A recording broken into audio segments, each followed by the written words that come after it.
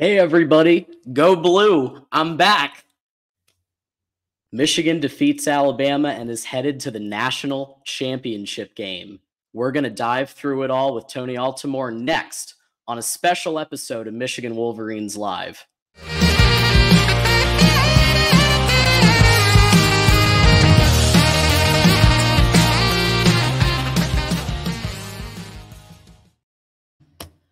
And welcome in everybody to the show. Special Friday episode, Friday, January 5th, 2024. My name is John Diadamo, and I'm going to be taking you through the next hour or so here at the Michigan channel, the voice of college football, and the main channel at the voice of college football, and the Mark Rogers uh, X Twitter account. So we're, we're in lots of places right now.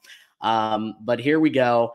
Uh, do recommend everybody uh, hit the like button subscribe, share with a friend, send this link out to the universe, to your discords, to your social media, to your Facebook groups, everywhere. Let's get this thing really uh, ramped up here uh, because we've got a lot to talk about. And if you have a comment or question, I strongly recommend you send a super chat. Um, I'm going to try to get to comments, but it may or may not happen. We'll see. Uh, we've got a lot to cover. Um, so send a super chat and you'll definitely get your question or comment uh, read on screen. Without further ado, we have our special guest here who uh, who hosted the Pac-12 Chat Show live this season, um, and you know brings a really good holistic perspective to college football. And uh, a friend of the show, and and my friend Tony Altimore is here joining us. Tony, hail, hail! Great to be here. Hail to the victors, guys it, it, it feels unreal, and, and I had to wear my Woodson jersey for obvious reasons. Uh, you know, as one bring it all full circle. So I will tell you, here's a little thing. Here's a little Woodson moment. So I was at, I grew up in Michigan. I was actually at the Rose Bowl for the national, the last national championship. Wow. And my good friend, my my very good friend, like from growing up, Casey Beidel. If you guys are Wolverine soccer fans, I think she was like an All American or something and went on to play pro soccer, uh, was with me at that Rose Bowl. And I just saw she and her wife are on their way to Houston right now for the national championship game.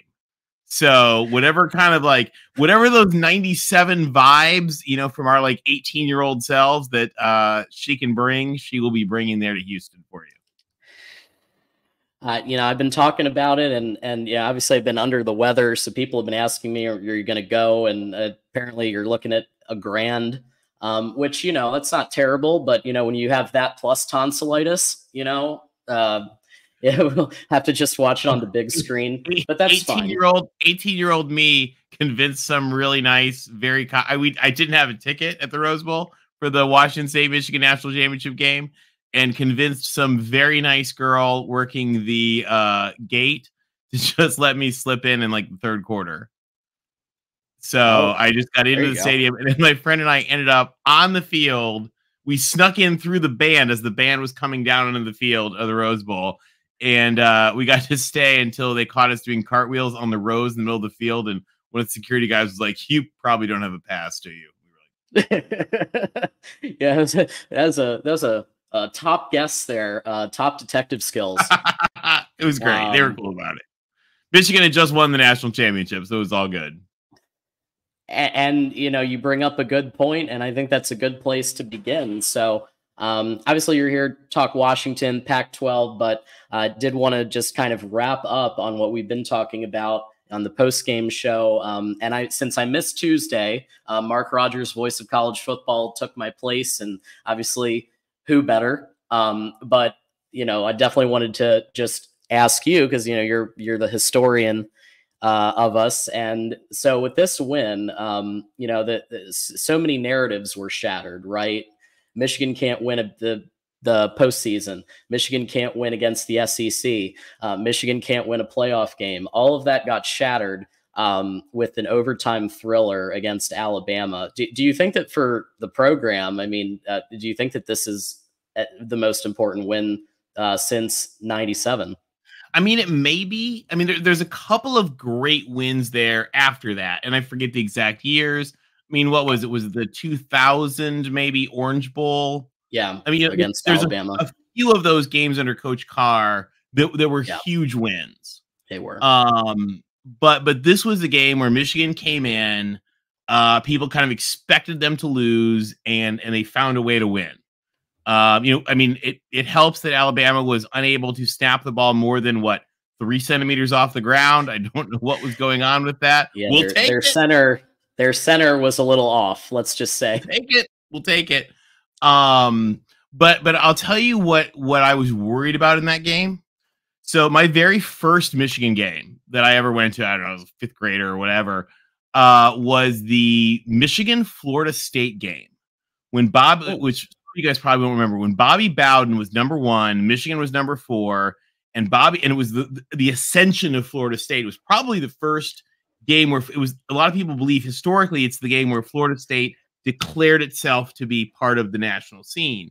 And Florida State just came into Michigan with uh, Desmond Howard playing and beat the living snot out of Michigan. I know 55 to 30. It could have been 150. I mean, with how that Florida State team played. And so, you know, this was a chance for Michigan to take one of those games where people kind of expected them to lose and win. And they did. They found a way to win. I mean, your game against TCU last year, and we can talk more about this in terms of Washington, because in a lot of ways, I think that Washington is a little has a little bit of TCU flavor yeah. um, this year. But I mean, you think about your game against TCU last year, everything went wrong. Unless you are a Big 12 fan, there's no question Michigan was the better team last year yep. in that mm-hmm. game. And just, I mean, if we were 2,500 years older, we would be making up like Greek mythology about like, oh, and Michigan angered the gods. And so they made JJ fall and threw pick sixes and just, you know, oh, they like the guy who was in the end zone then wasn't like, I mean, just all the ridiculousness, like comedy, of, comedy of errors. Yeah. And somehow you lost that game that you should have won. And yeah. and so you found a way to win that here. And it, but the big question for Washington, I mean, I think, and we'll we'll talk more about this, Michigan. I think is the better team. Washington's yeah. had that magic TCU pixie dust. Is it going to run out? So we'll find out. But yeah, as far as this win, I mean, to to win the national championship here, I think would be just just enormous for the program. But but I would also argue that the you know, I, and people can be mad at me for this. I would say your biggest win, really, since that Rose Bowl game, was the beating of Ohio State in the snow. That was great. I mean, that was, but that was, that was a moment where you were like, okay, we're taking this monkey off our back and and whisking it away. Yeah. Um, and th- that I think was huge. You know, this is probably that next step. Yeah, and it, it begins with the defense, and and like this was the biggest shock of the entire thing for me was if, actually if USC watching... was able to play any kind of defense, Washington wouldn't be here. Let me tell you that. One one tackle. That was all we needed. One tackle. But Michigan's defense actually, you know, we saw the 2021 Georgia playoff game, right? Where Michigan got bullied around by Georgia. There were times in the first half, Tony, where Michigan and it's especially its interior defensive line was actually bullying Alabama, storied Alabama. And that to me showed an ascension uh, of, course, a program. Storied Alabama almost lost to Central Florida. That's fair. Yeah. And Auburn. Tyler Tyler Buckner and uh yeah, Simpson. Yeah. yeah and, and, a ter- and I mean rivalry games anything can happen, but like a terrible Auburn team, an atrocious Auburn team essentially beat them sans one play. So, you know, they were to be honest, be glad you weren't playing Georgia. I mean, I know all the Georgia people in the comments are gonna be like, oh, what if, what if? And you know, if, yeah. if wishes were dishes, we'd have a full set, but Georgia's real Georgia might be better than Alabama. Don't tell anybody. They look good. Um, and I will say the offense, while Alabama's defense did a great job, in my view, in the middle, especially in the third quarter, um, the offense made plays when it counted the most, right? They had uh, pre snap motion going on, especially the first couple of plays in the first half, and then late in the fourth, and especially in overtime. Um, the pre-snap motion was and the huddling. Uh, Nick Saban actually admitted this. Uh, I believe it was to Pat McAfee um, on the Pat McAfee show, and he and he and he gave credit to Michigan for confusing Alabama and like taking them off rhythm where they couldn't really detect what was going on. So that so Sherrone Moore um, and his play design at times was really what needed to happen against Alabama. I, I agree. I mean, they, they, they, again, like you said, they made plays when it counted. Um, and, and that, that's what you have to do. Um, I mean, you compare that to Washington, right? Who had that game won and almost blew it. So yeah. you know, M- yeah. Michigan was, was, was kind of the opposite. You know, I mean, they and the defense, the, the defense really came through for Michigan in in such a good way. You know, you always make that cliche like defense wins championships, but you know, as, as my dad one time said, like, hey, if they can't score, we can't lose. And hey, the the, the other the, the other silver lining is special teams nowhere to go but up. Well, so true, so true for like this entire playoff. Like just oh my god, there were there were some there were some moments, but I mean the thing is, is the great teams find a way to overcome those moments.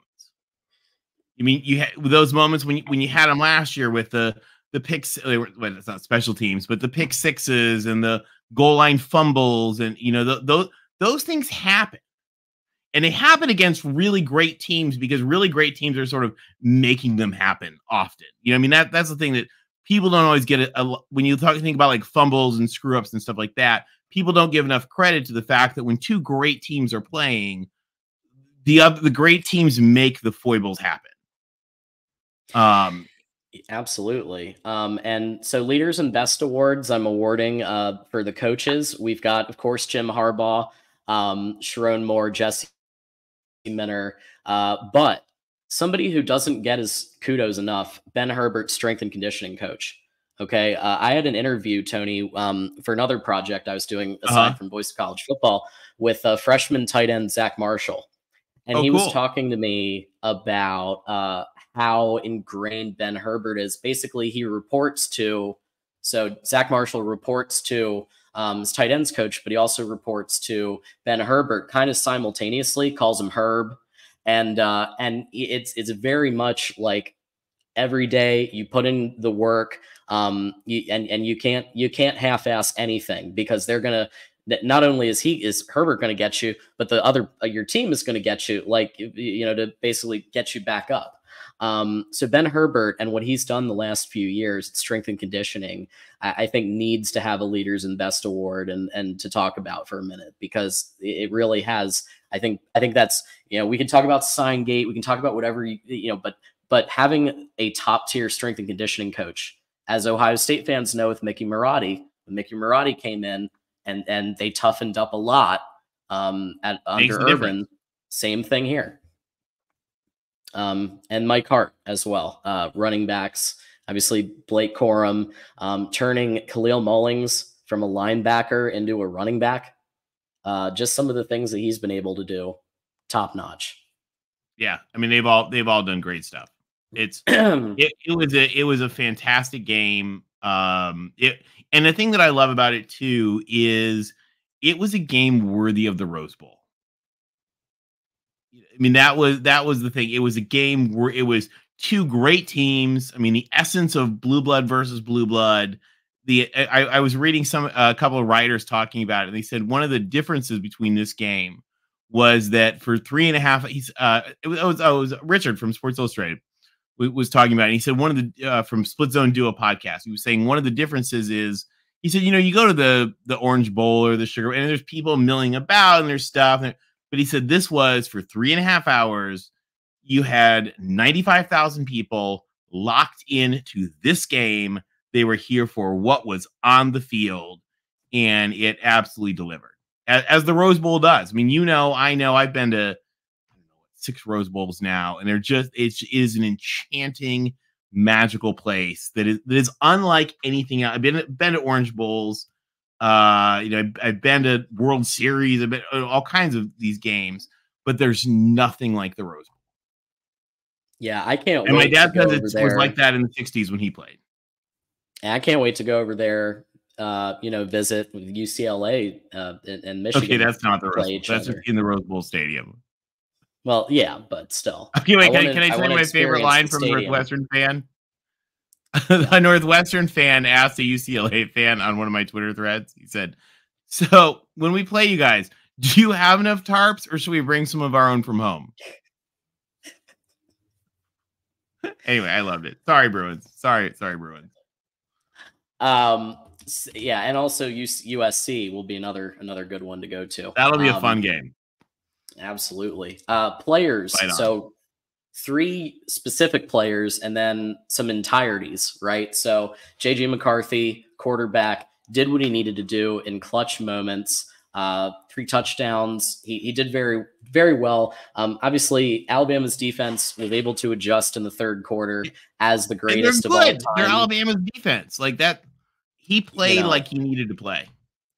Right. Uh, Blake Corum, I, I, thought he had himself a, a great game. Um, and they they put him in the right positions, right? They got him out in space. They got him out in the flat to just just run a route and and uh, you know doing misdirection with uh, with Karsen Barnhart as well to to do to do blocks and things like that. They really got creative, and Blake Corum was able to really play to his strengths, um, and obviously made a clutch uh, play touchdown. Um, you know, to help help get uh, drive Michigan to to the, the to win the game. So uh, Blake Roman Wilson also uh, had a really incredible uh, catch that was literally his fingertips, or it would have been intercepted. Yeah, and he was I, able to catch was... that ball. It was so close. I had to give it to him just for that because that that saved, you know, a an an embarrassing. Uh, well, there were a couple of people who saved us from an embarrassing ending, but but that was definitely one of them.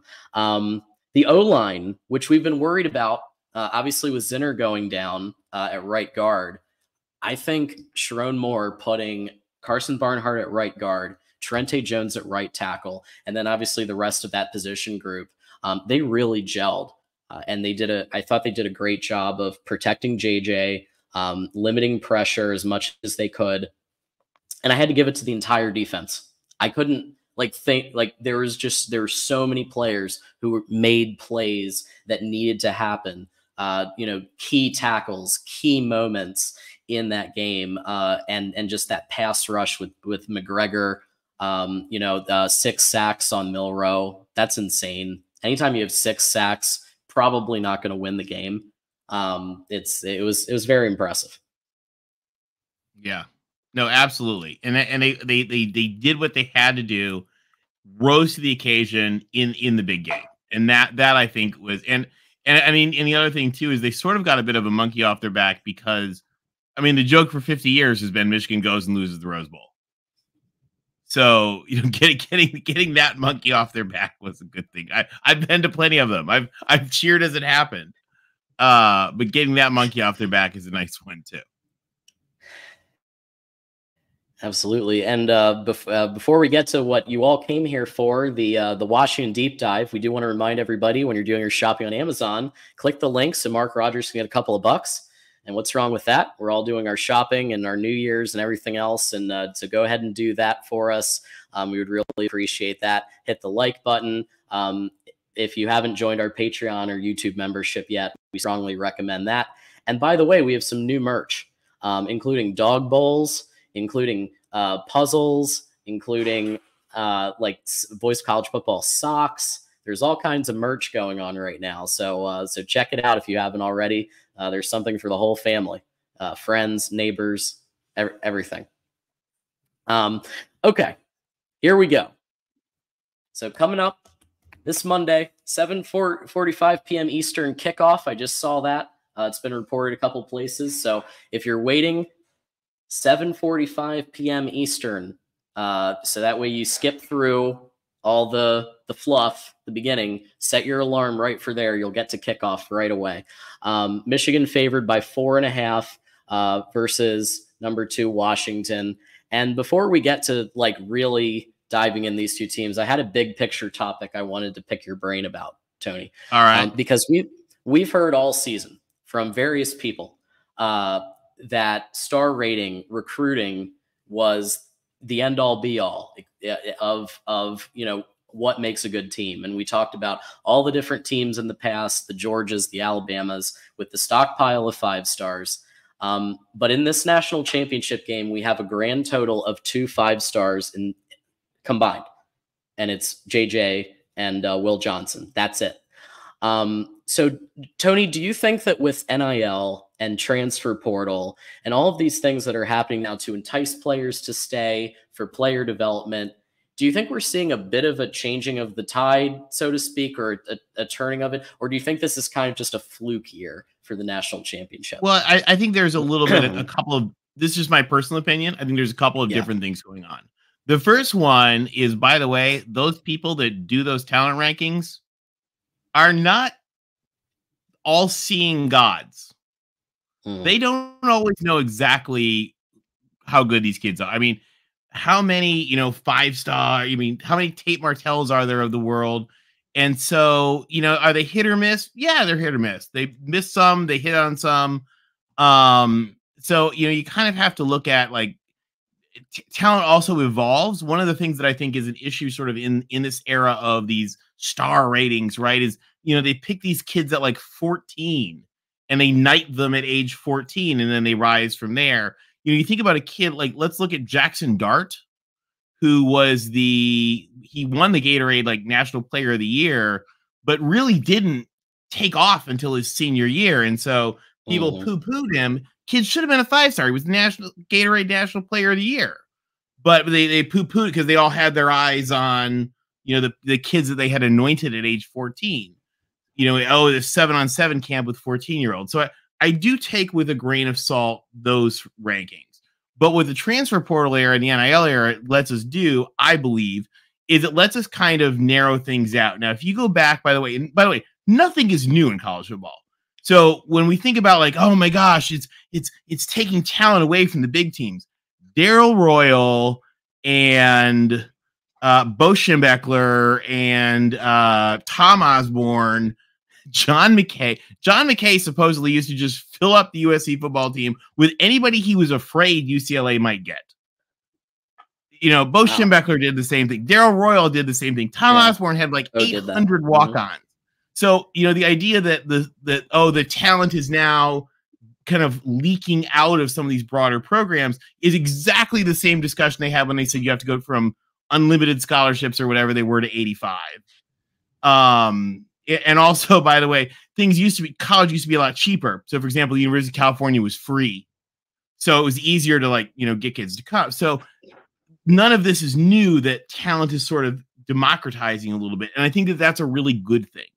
And what the transfer portal era lets you do is it lets you take kids and, and move them around, maybe find a better situation. I mean, a lot of these kids, you know, what, whatever it is, whether it's scheme, whether it's coaching, whether it's whatever, and you know, sometimes whether it's a football player, whether it's us in a new job, whether it's a dating relationship, whatever, sometimes you just need to start over. And so you look at a guy like Michael Penix Jr., like look at yeah. Bo Nix, you know, you just to be like, okay, you know what? I'm going to get out of there. I'm going to go to somewhere new. We're going to sort of start over. We're going to reset. It's maybe a better fit. Um, and you you get that opportunity, and I think that that is a really you know kind of a good thing that we have going on right now. It also lets teams fill holes more quickly. You know, let USC fill the hole with Jordan Addison. You know that you got Caleb Williams. You got you got the pieces that you needed. But I think there is very much something to be said for, you know, having those having that talent. Now you can debate whether you know Jim Harbaugh's evaluation of talent is better than that random guy in a basement who assigns star ratings for fill in the website. Um, again, I don't know. Is Jim Harbaugh better evaluator of talent or is that guy? It, different people may have different opinions. I'll, I'll be That's honest. Flip a coin, but but I mean, you, you have that question because there are coaches who you know who can do that, who can look and be like, okay, that's what I need on my team. I need that kind of kid. I need that guy.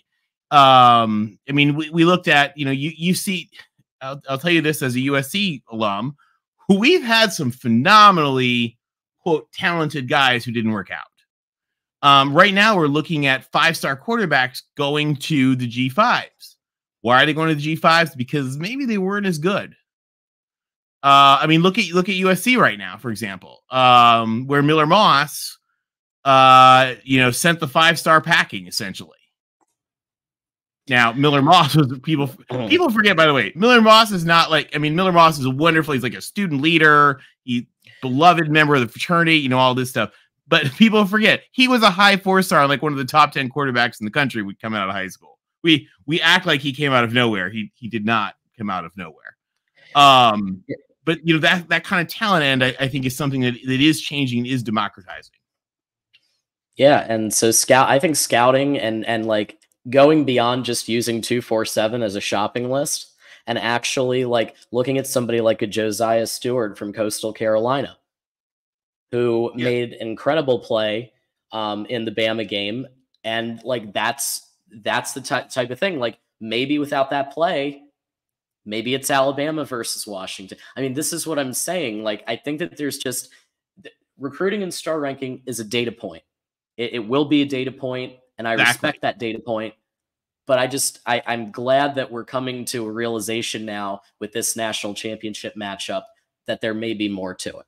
Well, and also, and I mean, PFF does some of this too, right? But like, what you are at 18 is not who you are at 22 after three years of nurturing and grooming and all that. That just there's a difference for the- for those kids that I think is huge and is is underestimated. Oh, he was a five star, uh, maybe, but you know, this kid this kid got better. You know, this kid got taller. This kid got bigger.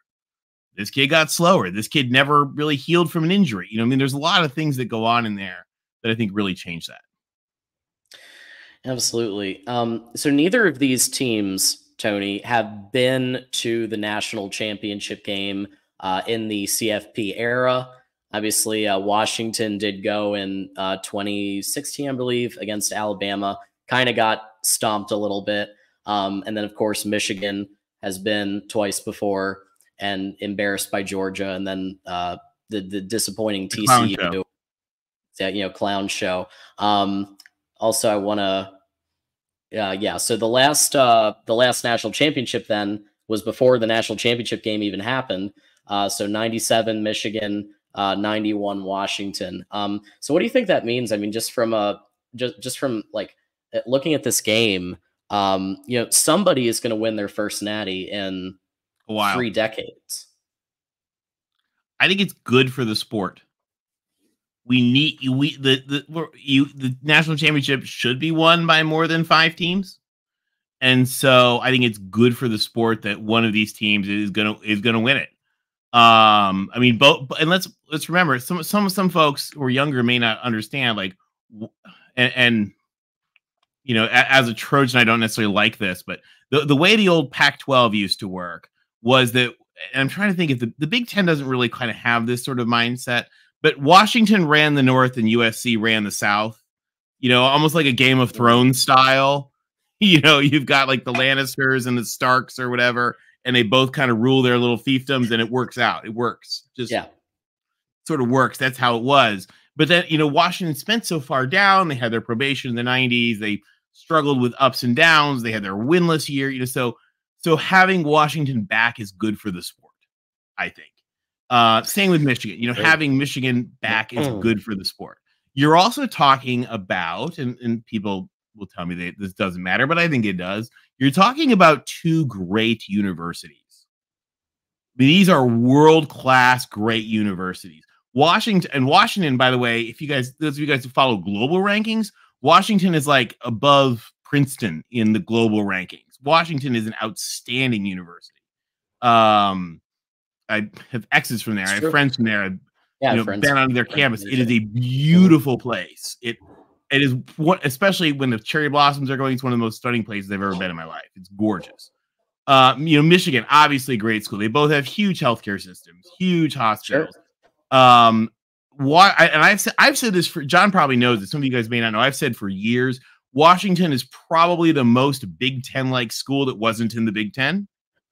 Um, and I don't know if you guys remember on Mark's show, the day USC and UCLA joined the Big Ten, I said I I would expect Washington will join. I was surprised I they didn't take Washington at the time because Washington is a very Big Ten-ish school.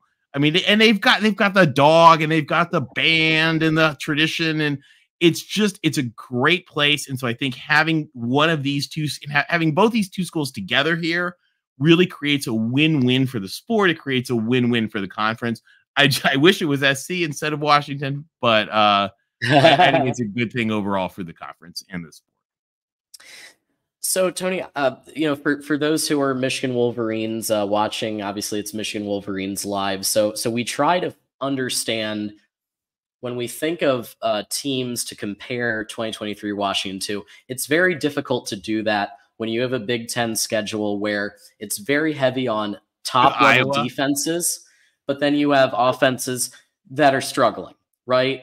Um, I had to go back to 2022 it's a, it's Ohio State. Yeah. Um, I had to go back to 2022 Ohio State. And Tony, what happened, as you probably remember, there was a thing called 2020, and Harbaugh won two games. And, I, re- uh, I remember. And, you guys, and, you guys uh, forget uh, I'm from Michigan, so I'm watching this. People think of me as the USC person, but I'm from Michigan. I'm watching this. I'm like, oh, that was not good. And, and he calls his brother. You know, he takes a 50% pay cut. He calls his brother, and he says, you know, hey, can you help me out? Uh, you know, I can give one, and he says I can give you Mike Macdonald or I can, or I can give you Jesse Minter. Okay, I'm going to pick Mike Macdonald. So Mike Macdonald comes to Michigan and uh, gets rid of the one trick pony, uh, Dr. Blitz, and it turns into a 4 3 multiple uh, defense where it's a Raven style defense um, that's built to beat a team like an Ohio State with a high octane pass. Um, that's kind of like a hybrid air raid, like? pseudo air raid. Finding and having a terrible defense and then bringing someone in with a Harbaugh style defense. Who would do? Oh wait, USC just did that. Okay, sorry. There it is. There. Go on.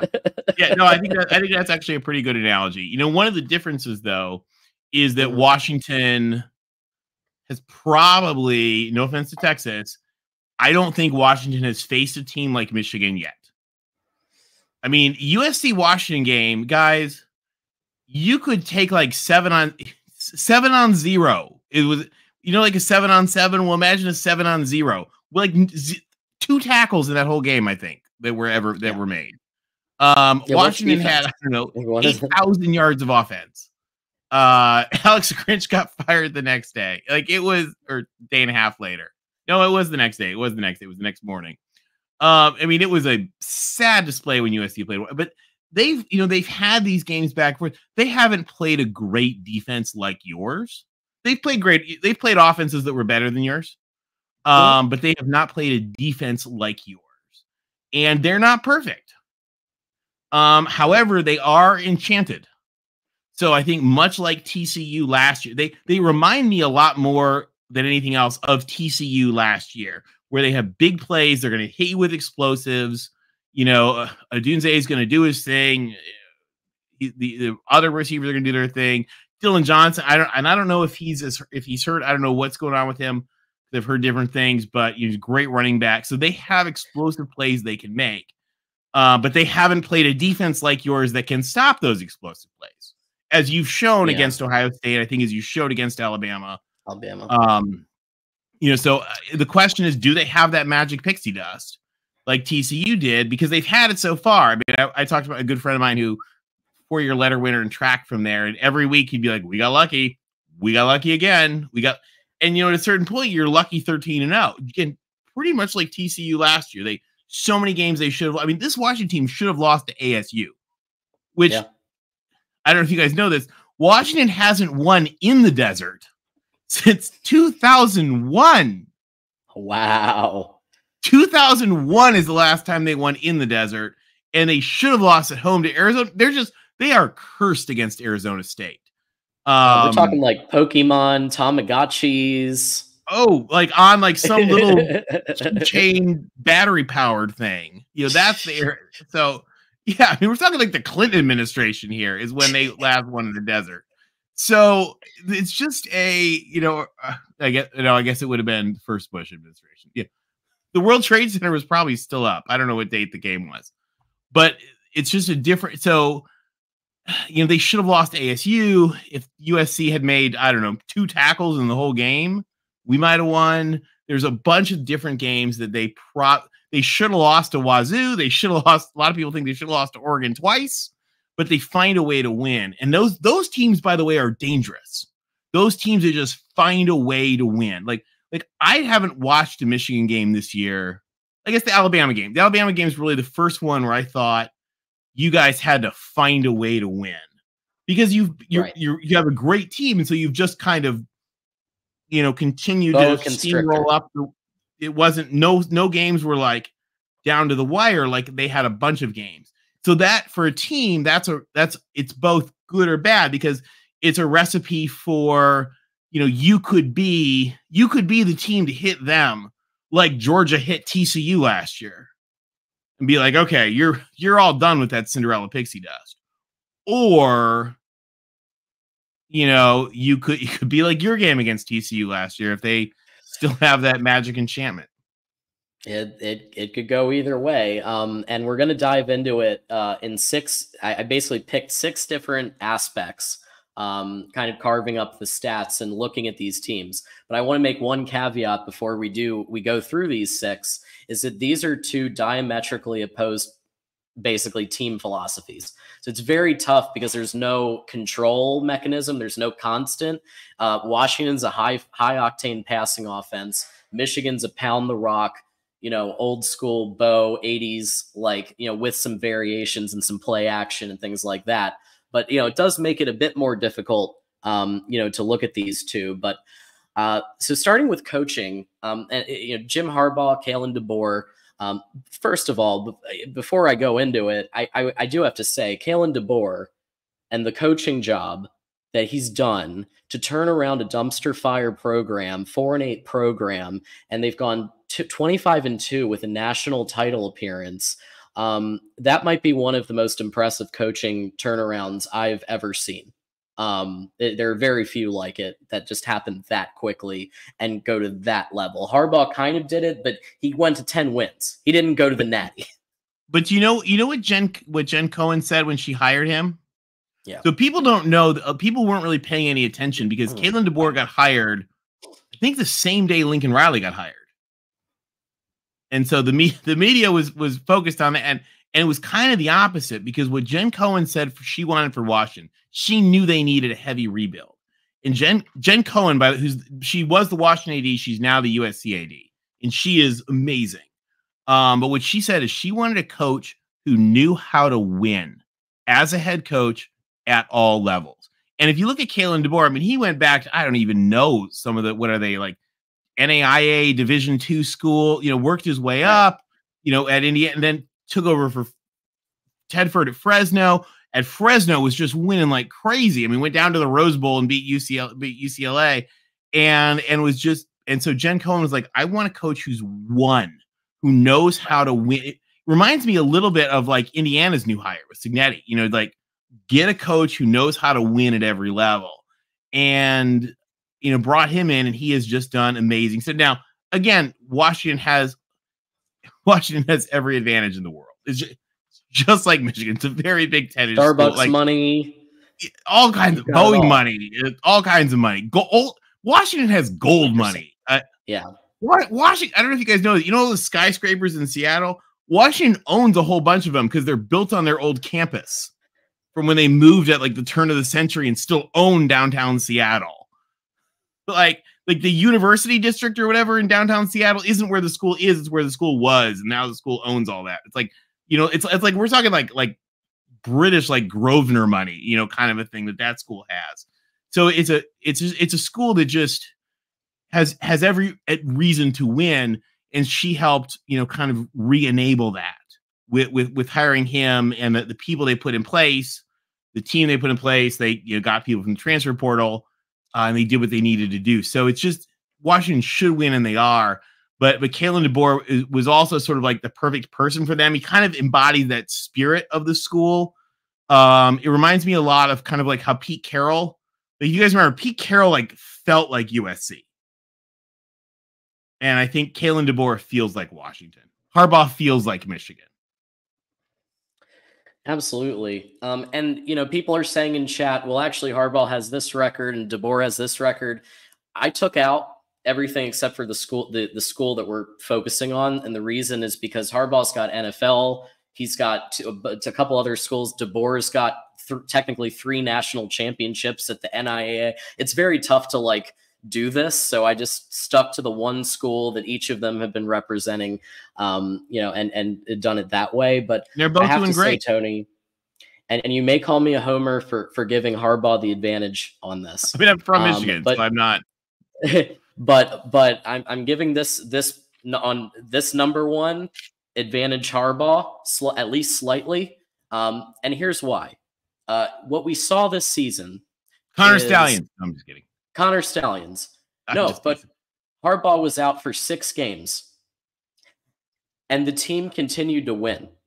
Oh, not only not so, only the team continued to win. Let me tell you what I think is the masterful coaching job here. They somehow had a coach suspended for half the season for two different cheating situations, which I mean, in both of them, you clearly did, like shame, shamefully did. You did both of them, and somehow made yourselves the victim to where the Michigan is like the underdog. Oh, we're we're against the world. I'm like, you're not against the world. Like, what a brilliant coaching job, brilliant motivation America's job. Team. America's, America's team. team. By what metric? I don't know, but it worked. Like, you know, that that that is a there is a masterful coaching job there. There's a a unified team there. You know, they're all about it. I mean, the other thing, one of the things I love, and I don't know, is this a new thing at Michigan? I don't know. They call themselves, I don't know, Team 140, whatever they are. What, what, number are they this year? The 140th team, 145th team. They're President Ono calls them that. There. Yeah, they all call it. It's but they're like they're very unified in the idea of being a Michigan team. And so, you know, I look at that and and I'm like, this is a, this is a team that very focused on what they need to do. 144. That's One, what they are. Okay. Yeah. But yeah, but I mean, that's like a really to me, that's a really cool thing because that's like a te- the team doing that and the team calling themselves that, which they do. They're recognizing their place in Michigan history. Absolutely. Uh, we do have our first super chat. Thank you to Ryan for your 999 super chat. Go blue, get the job done, bring the pack in with a win. Okay. I like it. There you go. Um, hey, the um, Big so Ten wins one, either way. Exactly. It's either current Big Ten or future Big Ten. Either way, the two are. It's all Big Ten. It's, gonna gonna rematch in the it's, Big it's Ten all next Big year. Ten. As I told as I told somebody today who was mouthing off at me, I said, "No, the Pac-12 is it's now down with a Titanic sub, imploded and gone. It's Big Ten from here on out." Absolutely. Um, we're gonna yeah, the people in chat, we're gonna stay away from uh, talking about the the we we've talked about the the Stalions thing like for hours and hours and hours and hours. Oh, sorry, I wasn't trying to I wasn't trying to go there. Yeah, well, I'm just talking about all the chat stuff going on. I mean, we can debate that. We could debate that for for hours. Um, but uh, but the quarterback battles. So you know, I think I think on first glance, people who may not be as ingrained in this would say, "Oh well, Michael Penix, he's thrown for a hundred bazillion yards. He's he's the definitive, uh, uh, you know, advantage here." But you look at JJ McCarthy, and again, this is where the systematic differences come into play. Uh, Penix doesn't have the same running game uh, the, and the same offensive philosophy. It's a lot on him, right? He has three exceptional wide receivers um, he's got to throw a lot of yards because his, his he's got I, I believe it's the hundredth running offense in the country.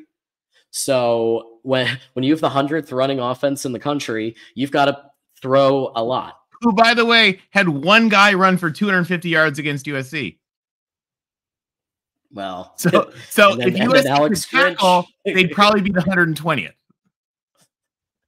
That's you, you're definitely right. Um, It'd be the 120th.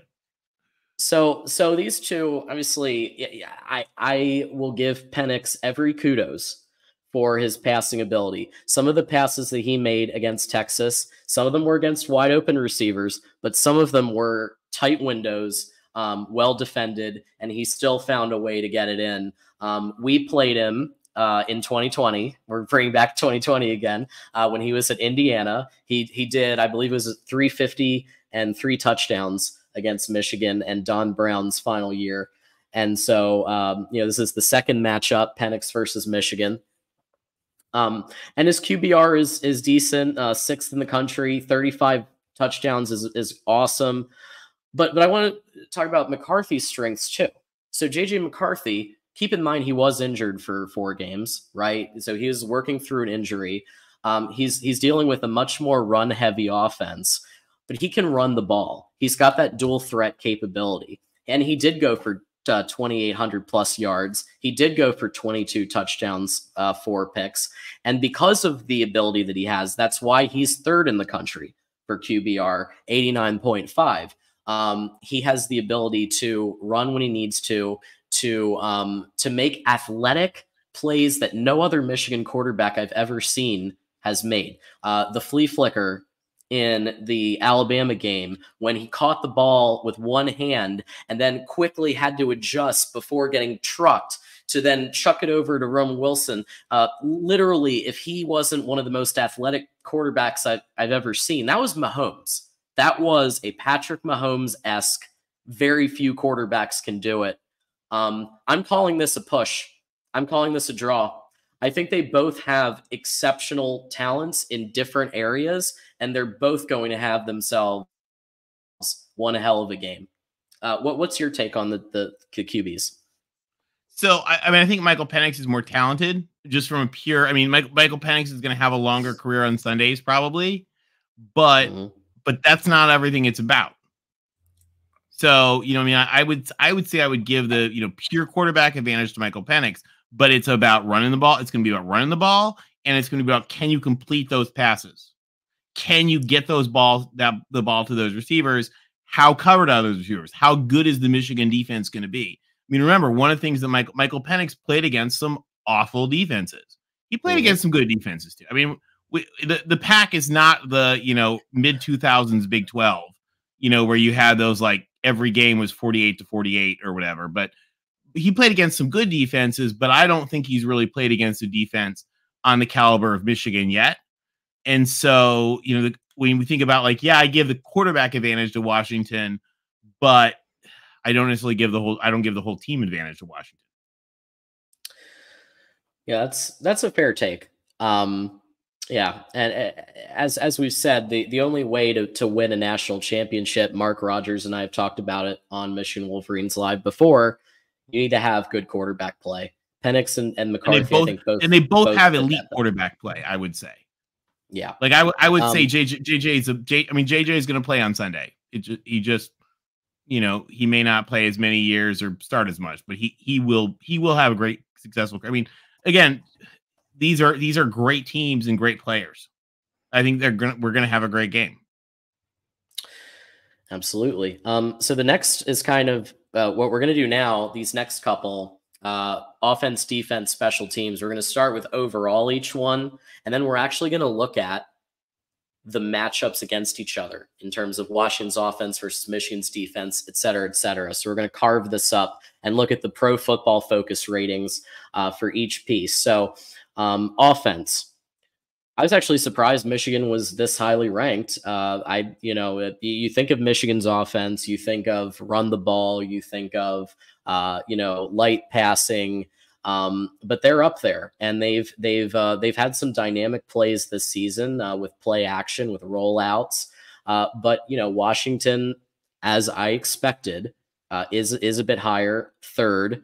Um, and this also does speak to Michael Penix because to have the 100th rushing offense in the country and to still come up third in pro football focus is extremely impressive. And I think that that's why we've got to really watch out uh, for, for Michael Penix. So advantage Washington there, uh, Tony. I, I would agree with you, but I would also add two two caveats to this. And I don't want to sound bad in both of these. Um, and I'm including my beloved alma mater in one of them Michigan played a lousy schedule of a lot of bad teams. So I think a little bit of what we think about in in terms of Michigan's offense, maybe sometimes being a little more boring or run the ball, it's because they didn't have to. They were stomping on teams. And when you yeah. stomp on teams, you don't have to make heroic quarterback plays because you're winning, you know, 48 to 10. And so there were a lot of games where I think like it's not that Michigan couldn't be more high flying, but they didn't have to be. And so I kind of give I kind of think that Michigan in some in some ways may this is going to sound really stupid for me to say, but I, I think it's true. In some ways, I think their stats may be a little padded, but I think their capabilities are underestimated because I think they can do more than they're getting credit for by some people.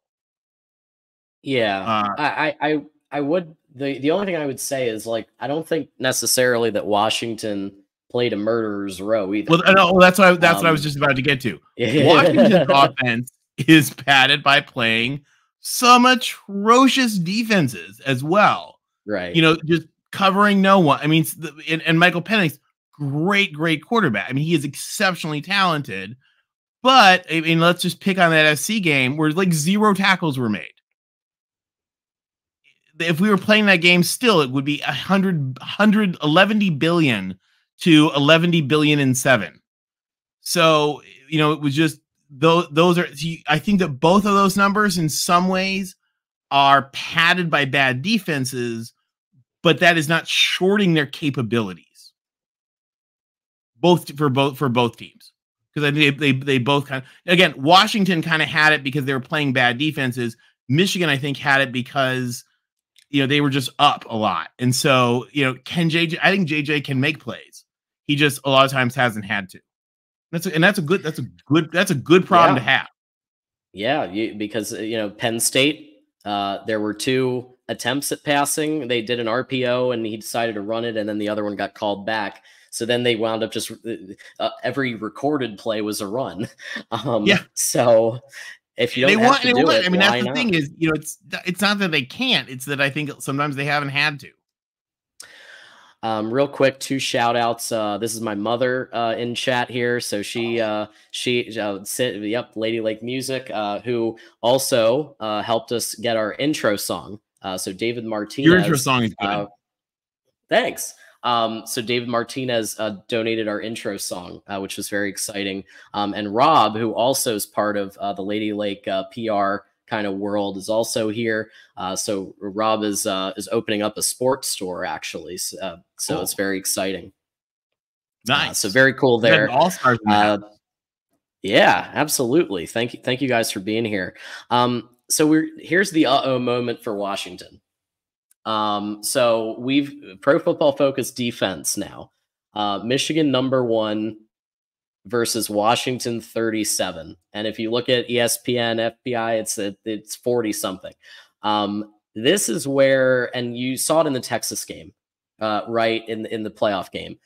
Um, Texas like pounded the rock down their throat. They passed pretty much at will, um, and they almost won that game. And if it wasn't for you know that last play not happening, Texas would be here, not not Washington. So, um, well, did, you know, I, I, heard a rumor. The, I didn't. They, didn't they turn the last two minutes over to Cristobal to call the plays? That it's it's very possible. That's what I heard what happened. happened. they were Cristobaling. They were Cristobaling.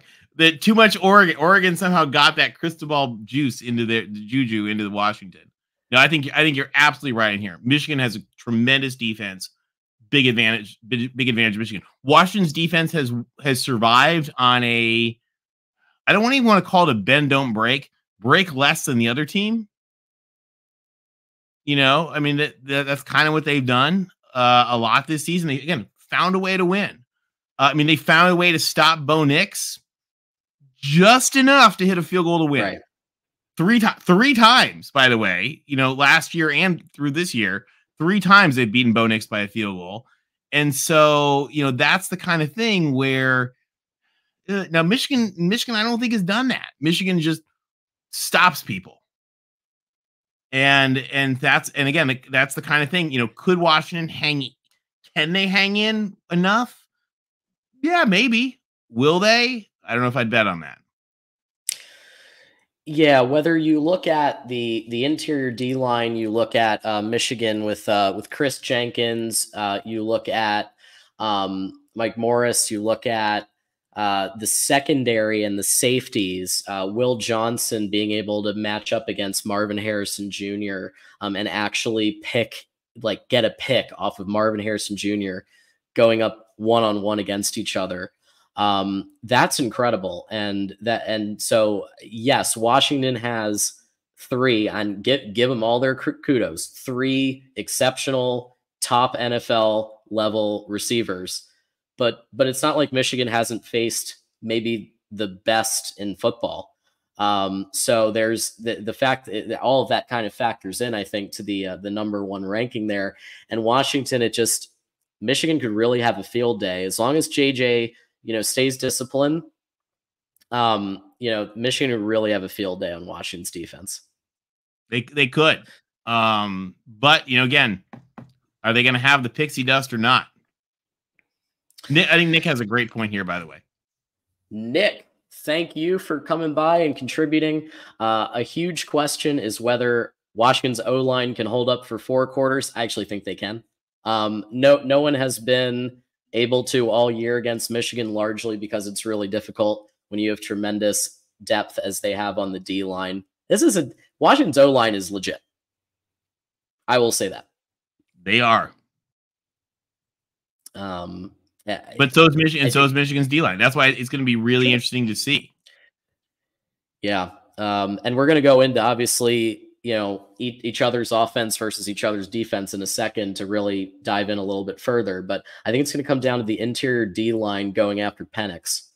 Um, so if you edge rush, Penix can get you by escaping and then like doing doing magical things with his passing ability. If you go on the interior D line, he can't do it. He, he like that's it, right? So I think it's really going to come down to like the the the it's going to be the one of the toughest games that, that our D line has had in their career. Uh, maybe the toughest to be able to stop Penix, but that's really I think the secret. Uh, the secret sauce here, um, because even though Washington's O line did win the Joe Moore Award this year, we also know that Joe Moore Award sometimes. I mean, Michigan won in 2021, and Georgia had their way with us, right? So uh, you know, so I think interior D line uh, might be might be the top uh, secret there.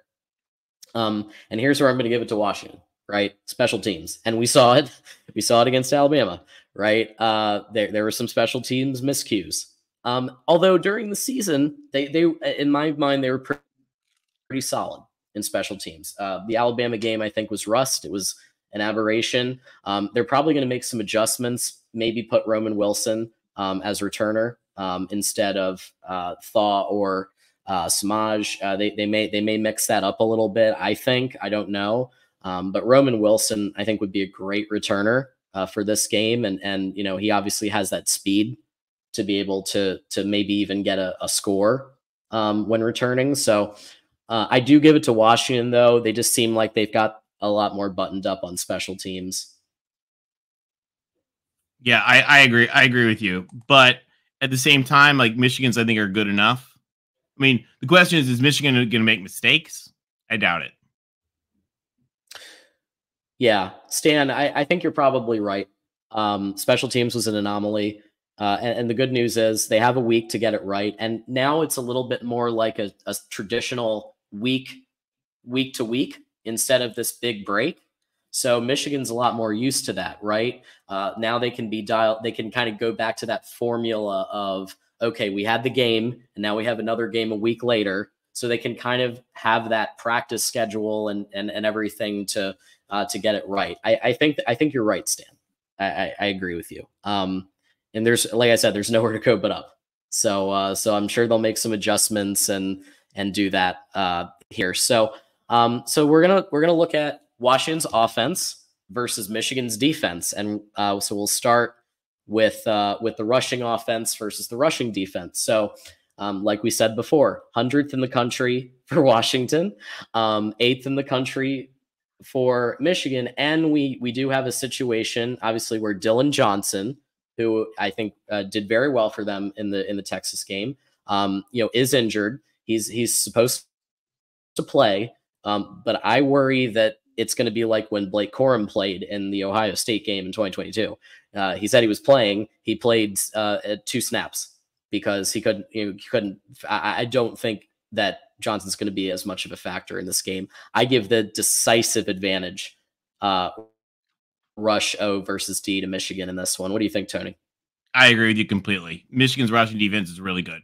The question is, can Washington's defense be good enough? Can Washington's rushing offense be good enough they're not going to they're not going to be great, but can they be good enough that then Washington can do what they need to with you know their nightmarish receivers and Michael Penix doing his like archer move. Uh, that, you know the question is, can they be good enough? And I think we're gonna we'll see. Uh, B Bean. Uh, so the backup is Will Nixon. Uh, so Will Nixon, uh, kind of a hybrid running back, wide receiver. Uh, he's pretty good. Uh, red shirt, red shirt sophomore looks like. Um, you know, he's he's decent, but but I just I don't know if he has he has that same big playability. Um, so if Johnson's kind of limited, yeah, he's going to have to play because uh, yeah, I, I I foresee a lot of Nixon and uh, you know, there Johnson's going to try, but you know when when you're when you get injured like that, and we saw what happened, um, a week is not enough time, and I, I do not think he's going to be anywhere close to 100. percent um, You know, so uh, uh, yeah, and and here we go with obviously the the uh, the the passing offense, and um, and even though it's one two, you got to give it to Washington. Washington's passing offense is uh, one of the best I've seen um, ever. Uh, it's really good. It's I think it might even be better than Ohio State 2022. Um, just with the the ability of all three of them uh, to to make those plays. Um, you know whether you know whether it's uh, Odunze, whether it's Polk, whether it's McMillan. They're so Odunze, scary good. Odunze, uh, Washington fans were telling me might even be better than MHJ. I don't know about that. That might be homerism a little. I think I think Marvin Harrison Jr. is probably one of the best wide receivers we've seen in at least three years. Uh, he's that good, but uh, because w- when he was out of the game, uh, you know they looked like Iowa. So so that's that's how much of an impact player he was. Um, so yeah, but it, number one in the country versus Michigan passing yards allowed, number two. So could we see some interceptions from Will Johnson, Mike Sainristil, still Rod Moore? Uh, I, I think might be good for one or two interceptions, but I still give the advantage to Washington.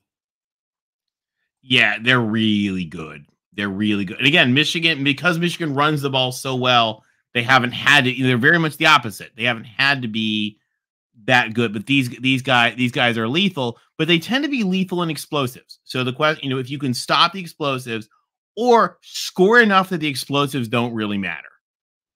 You know, I mean, I'm, I'm sure they're watching a lot of that USC. I mean, again, this is a team that scored 50 some points on USC and scored what, like nine points on Arizona or 15 points in Arizona State and one with a pick six or you know I mean just so there's there's a lot more inconsistency if they if they're on they're on. If they're not on they're they're beatable. It's again it remind it just it reminds me so much of you know your game against TCU it could be like your game against TCU or it could be you just roll them Sorry, Erica. Don't hate me. um, you know, I was rooting for you guys all season. Um, but but yeah, I just I that was the the closest. To, I mean, Ohio State I, scored three points. Can I give a personal message to our friend of the show, Erica? Yes. Ding dong, the witch is gone.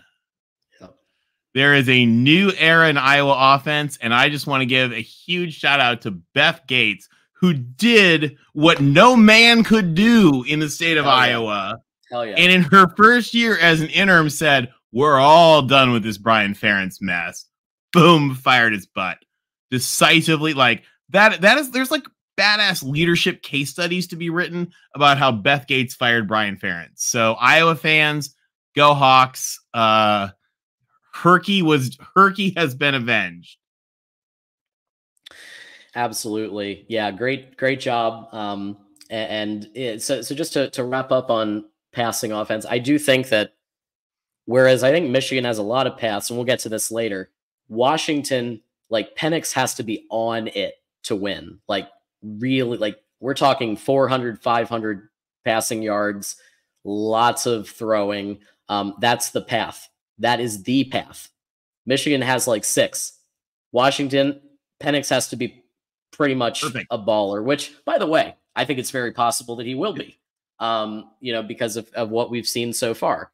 but uh, but you know that I, that we'll we'll kind of cover that more later. But um, definitely something to to look at as far as the different pathways to uh, to victory. So, uh, Tony, uh, we do have Michigan offense versus Washington defense now, um, and you know, so this one, this I actually have a, a question mark and an exclamation mark here because I was a little surprised uh, that Michigan had the advantage here. So Michigan has the 71st passing offense in the country because, as we know, they they like to run the ball. Um, but they do that you know they, they have some great play action that they do uh, to the tight ends colston loveland uh, when roman wilson does get into it uh, the, you know the, he, he can run some great routes he's taken a level up this year uh, washington's passing yards allowed i was absolutely like flummoxed at this 120th in the country one of the well, last part, in the country part of that is because i think their defense is not as good as a lot of other people think part of that is because they played some out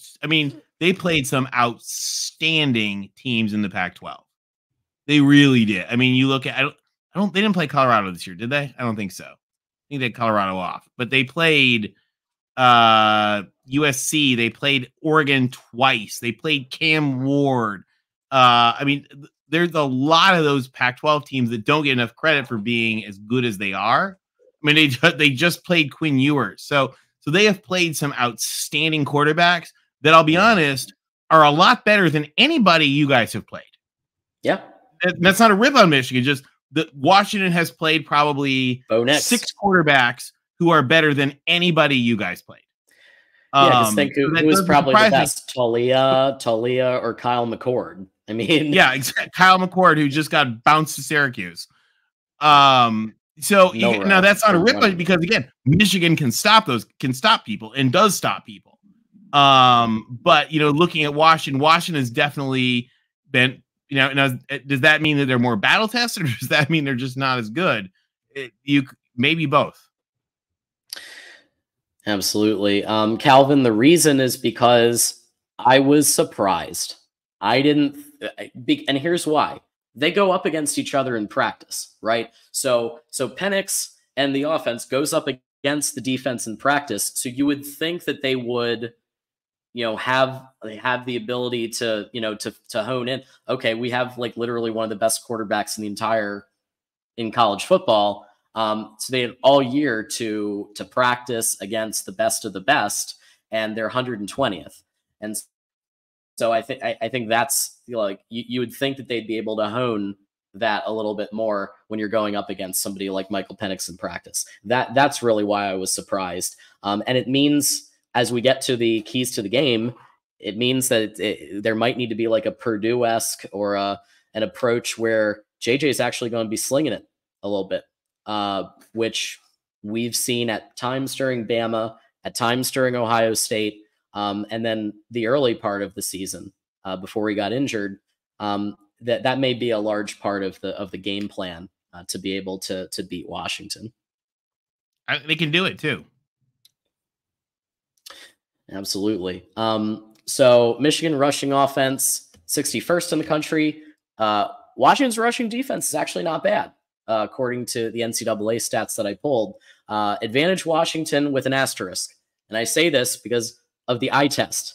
I watched Texas run it down their throat. Um, they had a problem, especially in the C gap. I was looking at I the mean, C I watched USC um, running on them, and that's, that's not a good state of affairs, my friends it's not a good state of affairs. So, so I, I the numbers say Washington, but eye test uh, is a little bit more dubious. Um, when you have problems in the O line, uh, eh, like I said, I, I, saw holes in the C gap uh, often, but also just running up the middle uh, to be able to just basically run at will. I think it was like 6.8 yards per carry. Uh, that's it, I, Michigan could get eight yards per carry. If if Texas can get 6.8, Michigan could get eight uh, with Blake Corum. So, so I'm I'm giving it an asterisk. Yeah, I I would agree with you on that. Um, you know, their defense is not good. Their defense is not that good. The question is, is will they be good enough? Will they be good enough to offset what they're able to do on offense? Maybe. I, I, I agree with you on that. Uh, John, where are you getting these stats? So most of the stats are coming from the official NCAA composite. You can you can literally just Google NCAA football stats. Um, there's drop down stats.ncaa.org or .com or whatever. Com, yeah, I think it's com. Um, and you have the drop down where you can literally pull every single one um, for this. Uh, we also did get some from Pro, uh, Pro Football Focus as well. That, that NCAA site, you guys, if you're data dorks like is awesome. Um, I I randomly just pulled a baseball thing from there and like made a like a silly slide on Twitter today, and it got just directly from the NCAA data, and it has like a thousand likes, like four hundred thousand views or something. NCAA data is amazing. So just yeah, you just pull cool stuff from there, and people love it. Uh, we got a couple more super chats. So sorry, Nick, I did miss this one. Forgive me. Uh, Penix on throws under pressure completes 44.4%. Uh, I believe JJ's 56 or some somewhere in the high 50s.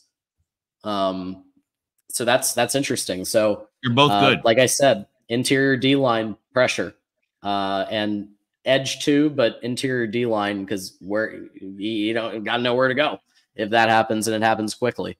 Uh, thank you, Nick, for that. Uh, Ryan, if Michigan can stay on schedule with the run game and the D can get key stops, that's game. Yeah. I mean, yeah, got to stop Penix at least a couple times or hold him to a field goal. So definitely uh, spot on there. Ryan, I think Keith, you're totally right on that.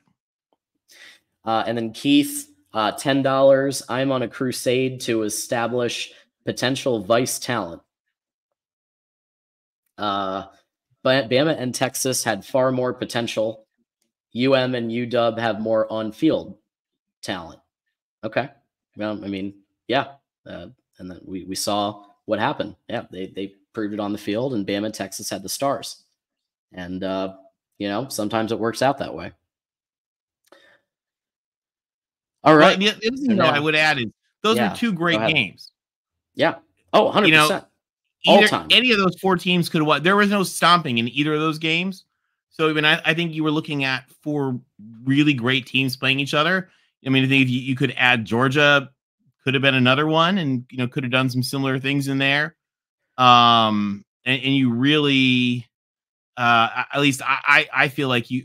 I mean, Mizzou Mizzou looked really good. So that you know, there's a lot of these teams that that could have been really good. And one of the things, like we talked about earlier, you know, we're seeing a little more democratization of talent. I think it's it's good for the game. And uh, both these teams have a lot of talent. And one of them is about to be the next national champion. That's right. And it's very exciting. First time since either 91 or 97. Um, and now we put it all together, Tony. Keys to the game and predictions. And so, like I said, um, you know, the, I, I, think Washington has literally won. If Penix absolutely just crushes it, goes for 500, um, and their defense is good does enough. enough to just contain, um, maybe get a pick, uh, maybe get a, you know, just keep them to a, a couple of field goals. Um, you know, Michigan has staggered at times uh, when when faced, even with not so great defense. They they sometimes will sputter um, and get off rhythm. So that to me is the one key for Washington. Uh, is there one that I might be missing?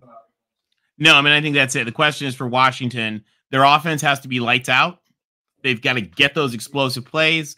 They've got to have those, you know, 60 yard touchdown passes that you know Michigan can't stop, and their defense has to get stops. They need to get probably turnovers. I mean, this is a game I think turnovers are going to be key in. If you can get a couple of picks, grab a fumble, you know, do whatever, turnovers could determine this game.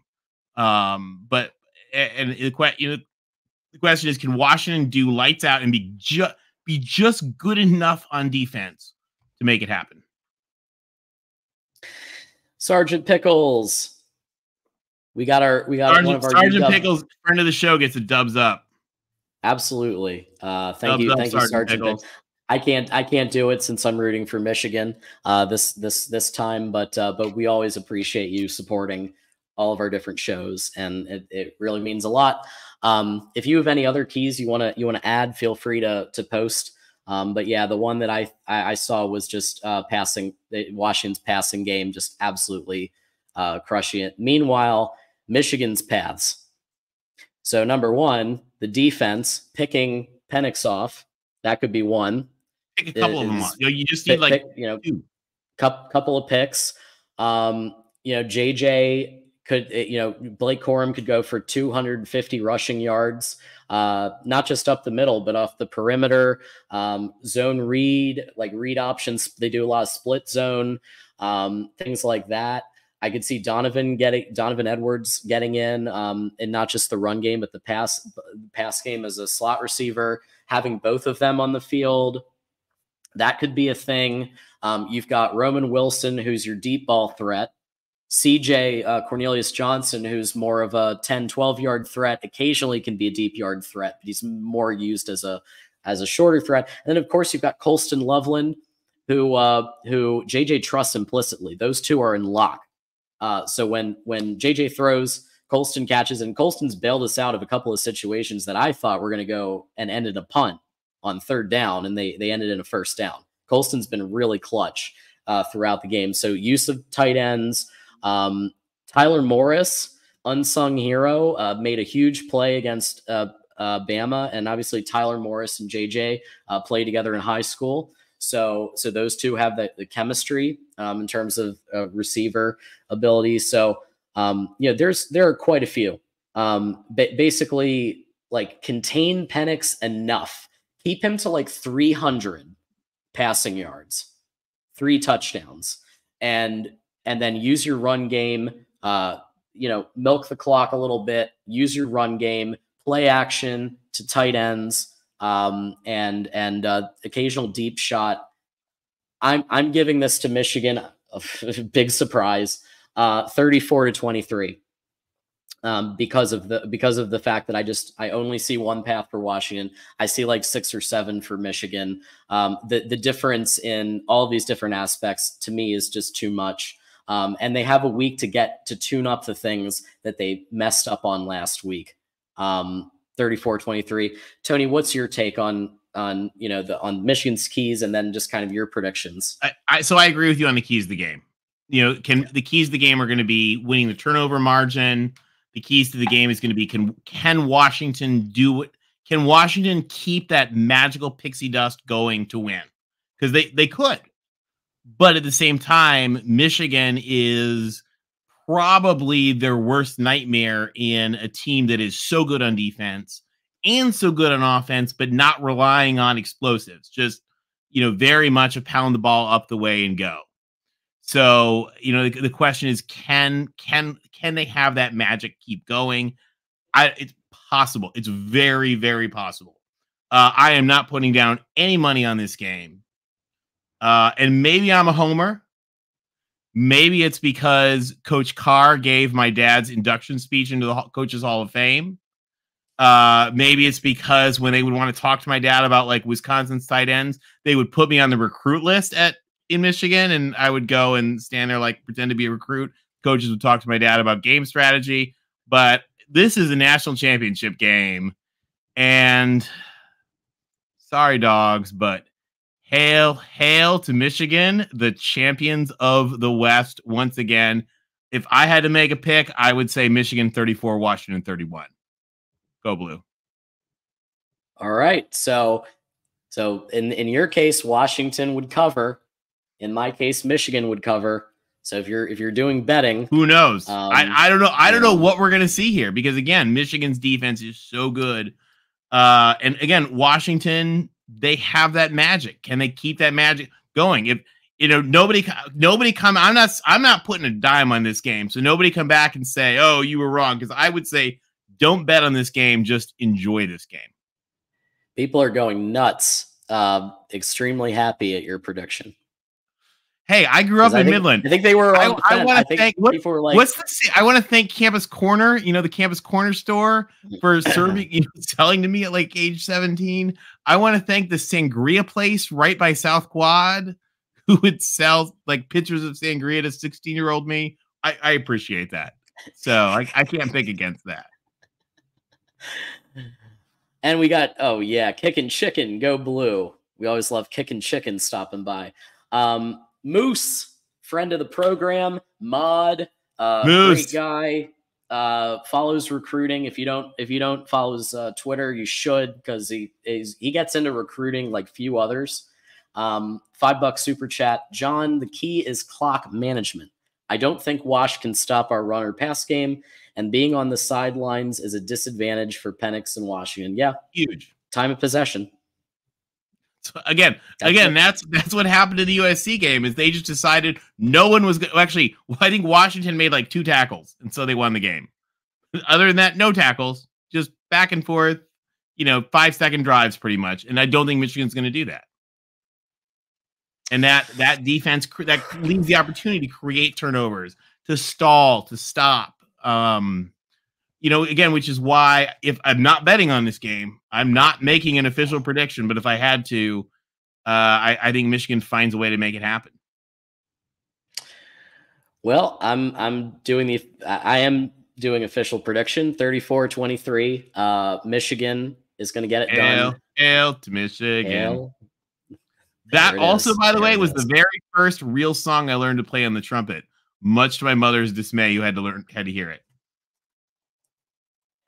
Just to make it official, we're going to make a banner. There it is. Okay, cuz that way nobody can I like nobody it. can uh go, you know, we, Nobody we- can question we it's keep there. It, keep it on, keep it on.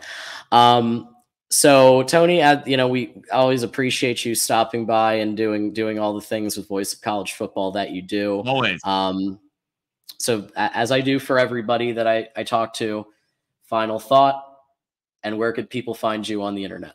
What a great season. Uh, my final thought is I'm excited because as of now, uh, USC and UCLA and Washington, Oregon are in the Big Ten. Again, I grew up Michigan. My dad played for Duffy. I think this is exciting and awesome.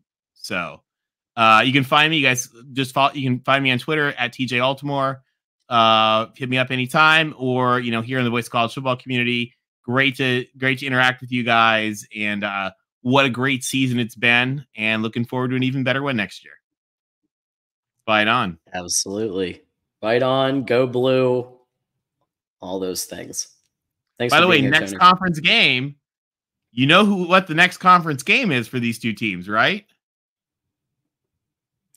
Is it each other? The next conference game is USC at the Big House. Oh, that's right. That's right. How, how great how great is football, guys? That's going to be amazing. That'll Yeah, be that'll be one one for the ages. Um, who, who knows? I mean, it's a, we may have like half a half a team, half a, and then a bunch of freshmen. Uh, who that? Who knows? Who Uh, knows? you Who know? knows? so we'll see where we're we'll see where we're all at in 2024. Uh, let's just win the whole damn thing, and then we'll, uh, we'll like worry it. about 2024 after. Uh, but Tony, thanks thanks for joining us for Michigan Wolverines live, and thanks for coming by. Bye, Don. We'll see you soon. Later, Tony. Um, so real quick, we're just gonna wrap up here, do a couple of last comments. LBC Rob, thank you. Love you back. It's amazing. Uh, we of course have George here, who uh, let's just say is not rooting for Michigan. Um, but we appreciate you stopping by anyway to support us. Dependent Fanatic is here. Big Ten baby, absolutely. Uh, Jim R, really appreciate that. Uh, yes, Tony is awesome. No question about that.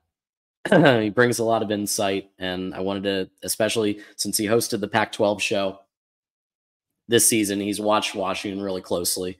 Um, I thought that was a, really glad he was able to join. Since I was unable to do Tuesday, that's why we have this show, uh, which actually turned out to be pretty good. So, all right, everybody. Um, as always, a reminder at, on your way out, please hit the like button.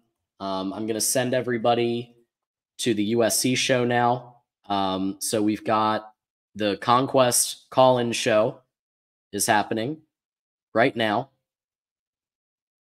I'm going to put it right in the in the chat for everybody. Uh, no excuse. Go on over. Conquest call in show. Um, so they're taking callers 888-99 Riley um, over there for the uh, the Conquest call in show. And you can go and and support that if you'd like to. Um, hit the like button, please, on here. Subscribe to Michigan football at the Voice of College Football. Um, we are trying to beat Ohio State for subscribers. Okay. We're a little behind. So please go ahead, go right over to the Michigan channel and hit subscribe and hit the bell. Okay. Um, because the Michigan channel, we want to grow it. Uh, I have great ideas that Mark and I, Mark, Mark and I are in the lab, and we've got some really interesting ideas. Um, we've got Dennis Fithian coming back on Tuesday night, uh, so we've lined Dennis Fithian back up for the next show. Maize and Blue review. A lot of you know him, uh, so he'll be on our next Michigan Wolverines live show. Um, I plan to do something for right after the game as well. Uh, Mark and I will sort that out.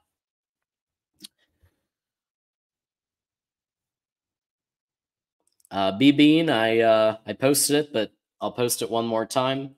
Sub to Mish channel. There it is. So I put it in both chats. put it in both chats for you. Um, no surprise, Porter says there should be an asterisk next to whoever wins. Porter, we beat an SEC team. We beat the GOAT. So there you go. We beat the GOAT. And Texas is about to be an SEC team. So Washington beat them. So if Washington does beat Michigan, they beat Texas. Pretty good, right? Go blue, Tom. Go blue.